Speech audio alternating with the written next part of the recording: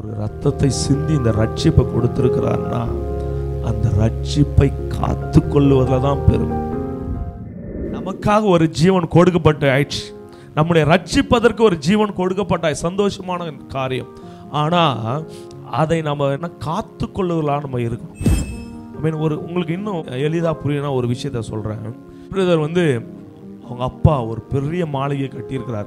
அந்த மாளிகையை கட்டும்போது அவர் சின்ன பையன்லேருந்து பார்த்துக்கிட்டே இருக்கிறார். அந்த வீடை கட்டுறதுக்கு அவர் எவ்வளோ பிரயாசப்படுறார். வேர்வையை சிந்தி ஒவ்வொரு நாளும் கஷ்டப்பட்டு கஷ்டப்பட்டு அவர் கட்டுறாரு. இதெல்லாம் பார்த்துக்கிட்டே இருக்கிறார் இவர். எல்லாமே சே அப்பா எவ்வளோ கஷ்டப்பட்டு இந்த வீடை கட்டுறாருன்னு சொல்லிட்டு அவர் அந்த வீடை புதுசாக கட்டி முடிச்சிட்டு அந்த அலங்காரமான வீடை தன்னுடைய வேர்வையை சிந்தி அடிபட்டு அங்கங்கே அடிபடுது. அந்த அந்த வீடை கட்டும் போது அங்கேயும் அடி காயங்கள் கல் காலில் விழுது கல் தலையில் விழுது. அவ்வளோ காயங்கள் மத்தியில் அந்த வீட்டை அழகாக கட்டி முடித்து அந்த கீயை பிரதர் கையில் கொடுத்துட்டு மறித்து போகிறார் ஆமென்.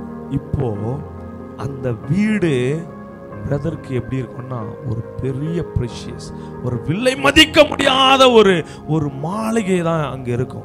அந்த வீடை பார்க்கும் போதெல்லாம் அந்த வீட்டினுடைய அலங்காரம் அவருடைய கண்ணுக்கு முன்பாக வராது. அந்த வீட்டை கட்டுவதற்கு அங்கே எவ்வளவு தன்னுடைய தகப்பன் அடிபட்டார் காயப்பட்டார் என்பது தான் அங்கே அவருடைய நினைவு முன்பாக வரும். அப்போ அந்த வீட்டை அவர் எப்படி வச்சுப்பாருன்னா பார்த்து பார்த்து வச்சுப்பார். அந்த வீட்டில் சின்னதாக ஒரு தூசு படும்போது உடனே போய் துடைப்பார். அந்த இடத்துல ஒரு பெயிண்ட் லைட்டாக போனோம் உடனே அந்த பெயிண்ட்டை போட்டு அதை மூடி அந்த வீட்டை பாதுகாப்பாக வைத்திருப்பார். இந்த வீட்டை என்னுடைய தகப்பனார் எவ்வளோ ரத்தம் சிந்தி எவ்வளவு பாடுபட்டு இந்த வீட்டை எனக்காக கொடுத்தார் என்று சொல்லி. அதே போல தான் இன்னைக்கு நம்முடைய பரம தகப்பன் நமக்கு நித்திய ராஜ்யத்தை உண்டு பண்ண ஒரு ஒரு ரத்தத்தை சிந்தி இந்த ரட்சிப்பை கொடுத்துருக்கிறார்னா அந்த ரட்சிப்பை காத்து கொள்ளுவதில் தான் பெருமை. ஆமென். என்னுடைய அப்பா இந்த வீட்டை கொடுத்தார் வீட்டை கொடுத்தார் என்பது பெரிதல்ல. வீட்டை கொடுத்தார்னு சொல்லி அந்த வீடு ஃபுல்லா ஒட்டடையும் அழுக்கும் மண்ணும் குப்பையா இருக்குன்னு வச்சுங்களேன் அந்த வீடு. கொடுத்துட்டாரு.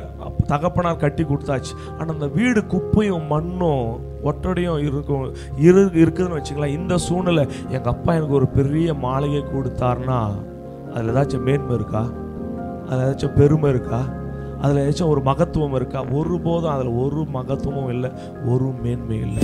அந்த கொடுக்கப்பட்ட அந்த வீட்டை கொடுக்கப்பட்ட ரட்சிப்புக்கு ரட்சிப்புக்காய் அங்கே தன்னுடைய ரத்தத்தை சிந்து கொடுக்கப்பட்ட அந்த வீட்டை எவ்வளவு அழகாய் பாதுகாக்கிறாங்களோ எவ்வளவு அழகாக அந்த வீட்டை மெயின்டைன் பண்ணுறாரோ அதுதான் அந்த தகப்பனுக்கு கொடுக்கிறதான மரியாதை மேன்மை. எத்தனை பேருக்கு புரியுது?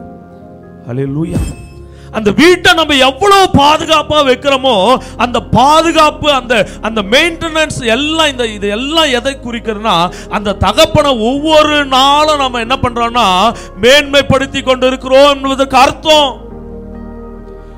அப்படி நாம செய்யாதபடி அந்த வீட்டை நம்ம அலங்கோலமாய் வைத்துக்கொண்டு என் தகப்பனார் எனக்கு மாளிகை கொடுத்தார் என் தகப்பனார் ரத்தத்தை சிந்தினார் என்று சொல்வதில் ஒரு பிரயோஜனமும் இல்லை.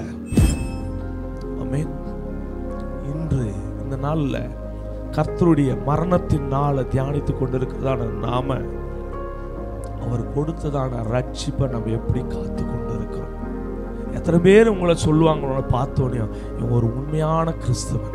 இவ்வளோ ஒரு உண்மையான கிறிஸ்துவன் அவளை பார்க்கும் போதே கிறிஸ்துவானவர் வெளிப்படுவார். அவளை பார்க்கும் போது எத்தனை தாழ்மை எத்தனை அன்பு எத்தனை பொறுமை. எத்தனை பேர் உங்களை பார்த்தோன்னே சொல்ல முடியும்? எனக்கு அன்பான தேவச்சனமே அவர் எப்படி இருந்தார் என்பது முக்கியம் இல்லை. இன்னைக்கு நாம எப்படி இருக்கிறோம்? இன்னைக்கு அந்த ரட்சிப்பை நம்ம எப்படி காத்து கொள்கிறோம்